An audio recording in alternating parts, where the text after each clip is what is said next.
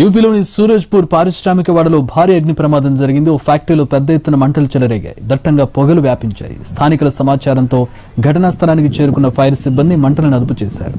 ఈ ప్రమాదంలో భారీ ఆస్తి నష్టం జరిగినట్టు తెలుస్తోంది.